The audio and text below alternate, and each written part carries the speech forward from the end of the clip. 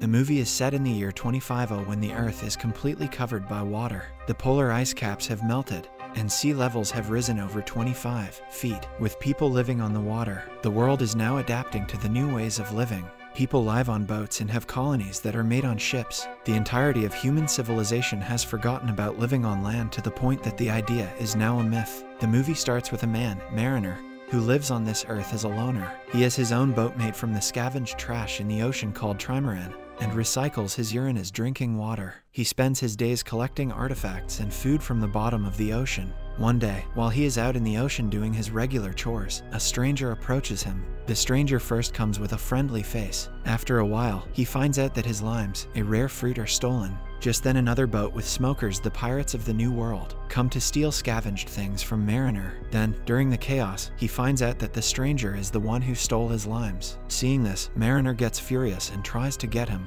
This makes him extremely furious, and he sails towards that stranger's boat. Even though his boat looks like it's made out of trash, the boat is extremely fast. He then sails right over the drifter's small boat and destroys it, leaving him for the smokers. After that, he sets out to sail towards Atoll, a colony that he had heard would make trades with him. At first, he is not allowed to enter. When shown that he has some good dirt, which is very valuable these days like a commodity, his entry looks legit, and then is given permission to enter. When he enters, he realizes that the situation there is worse than it is out there. People there have no food and are living in extreme poverty. He then meets a guy who gives him two hours to finish everything as heretofore. He goes to the market and tries to sell some dirt in exchange for some currency called chits. He finds one merchant willing to give him a huge chunk of money. Mariner asks the merchant to double the money. During that time, a guy named Nor is asking around about a girl with a tattoo that is a map of a dry land. After a while, he spots that girl, who is going by the name Enola. She is being taken care of by Helen, who is a local barmaid. Meanwhile, Mariner spends his chips on a tomato plant and some shelves for his boat. While he is returning to his boat, a family approaches him to impregnate their daughter because inbreeding within the colony was causing huge complications in children, and they didn't want that for their daughter. But Mariner refuses them, weirded about the fact that a man is rejecting a woman. The people of Atoll take him into custody. During that, one of the people discovers that he is a mutant with gills and webbed feet. Unfortunately, the people of Atoll are horrified by the mutation and decide to cage him. They attack him and he is imprisoned until further notice. He is caged over at the docks. The mariner notices some of the young people scavenging and stealing some of Trimaran's belongings as they leave the atoll secretly. Helen starts talking with her investor buddy Gregor on the other side, who is also looking for dry land. She tells him that Enola might be in danger and that all three of them should leave that place as soon as possible. Gregor tells her that they can't do so because no one can read the map tattooed on her back. The girl looks mysterious and always draws weird pictures and symbols that she does not recognize. Later, Enola tells them that Mariner might be able to read the tattoo,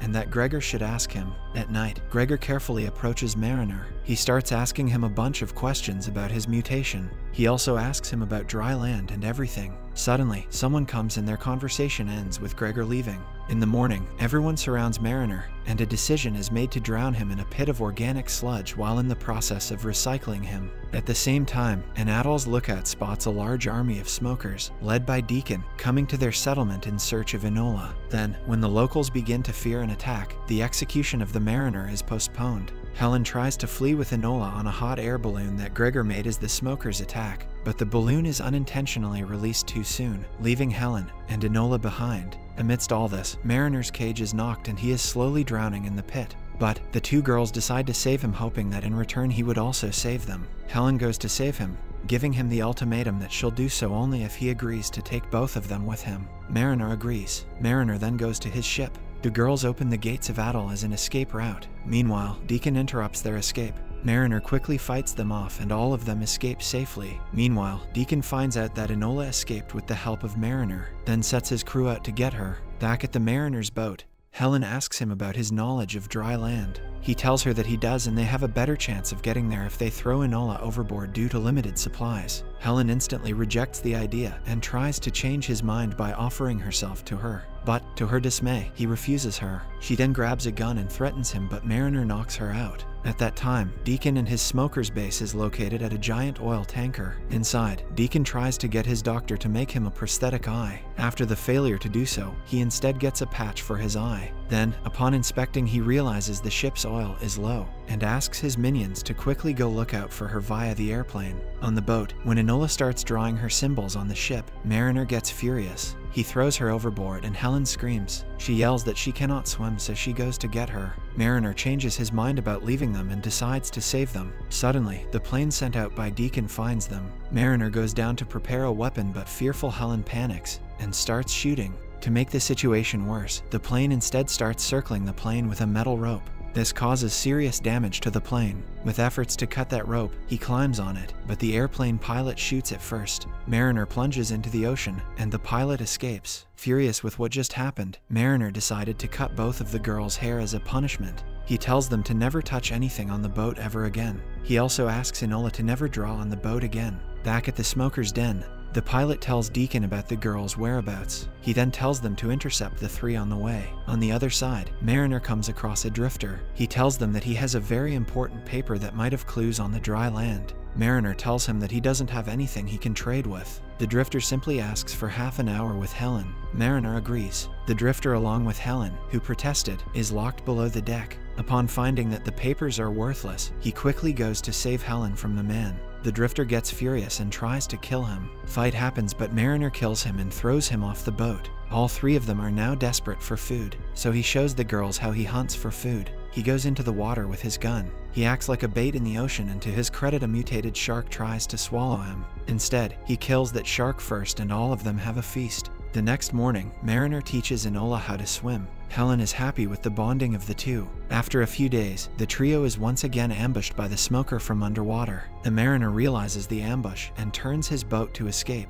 They barely manage to escape, even after the deacon opens fire with his rifle, wounding the mariner. He asks Helen if she knows anything about why they are being ambushed again and again. Helen tells him that she is the girl with a tattoo of a map to the dry land. He tells her that it's all a myth and has never come remotely close to a dry land. Listening to it, Helen gets angry. In an effort to convince her, he takes her underneath in a homemade diving bell. Mariner goes without it because he has gills and he can swim. They go deep down into the submerged city. When they return back, they realize that smokers have come again. They threaten to kill Enola if they do not hand her over immediately. Enola, who is hiding, resurfaces upon hearing the firing of guns thinking her friends are in danger. Enola gets caught. The smokers, upon the deacon's order, start trying to kill the other two, but two of them dive into the ocean. He kisses her so that he can breathe for the both of them. Upon returning, they find that Enola along with the smokers are now gone. Mariner tells Helen how much his feels lonely, and Helen kisses him. Both of them share intimate moments together.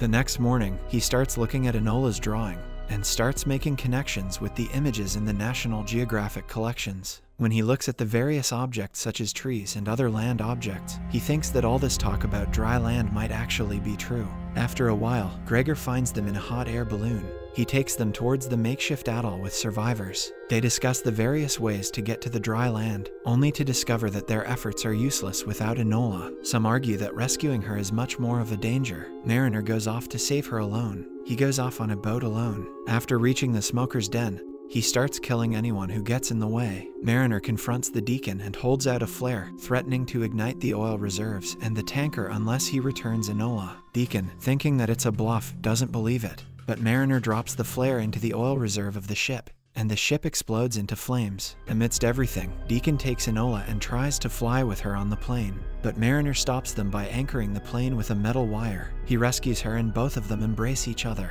Meanwhile, Gregor with his hot air balloon shows up. They immediately let down a rope for the mariner to escape as he brings Enola to Helen. But to everyone's surprise, Deacon starts climbing that rope too. Mariner kicks and throws him into the water. Deacon then finds a jet ski and shoots at the hot air balloon. It disbalances the balloon and Enola falls into the ocean. While Deacon is trying to get her, Mariner ties himself with a cord and bungee jumps into the ocean to get her. Right after he gets her, the three jet skis with Deacon and his men collide with one another. They die due to the explosion. Later on, Gregor manages to identify the tattoo on Enola's back as the coordinates and the reverse directions after a few days of flying. They discover the dry land upon following the coordinates filled with vegetation and sand and everything they've never seen before. The entire group is fascinated by the discovery. They go inside the small hut there and find skeletons of people. They discover that the remains are of Enola's parents. They realize that maybe the girl was sent out with the hopes that she would bring more people to the dry land. The people give her parents a proper burial. Everyone in the dry land seems to be having fun, but Mariner feels out of place. The dry land feels awkward and like he doesn't really belong there. He decides to leave and go out into the ocean where he feels at home. Enola tells him that maybe he will adapt, but he feels that the ocean is his calling. Everyone respects his decision and he starts building a wooden boat. Helen and Enola bid him farewell. Mariner promises to tell others about the dry land. The movie ends with Helen and Enola climbing to the highest hill to watch him sail away, only to discover that they are standing on top of Mount Everest.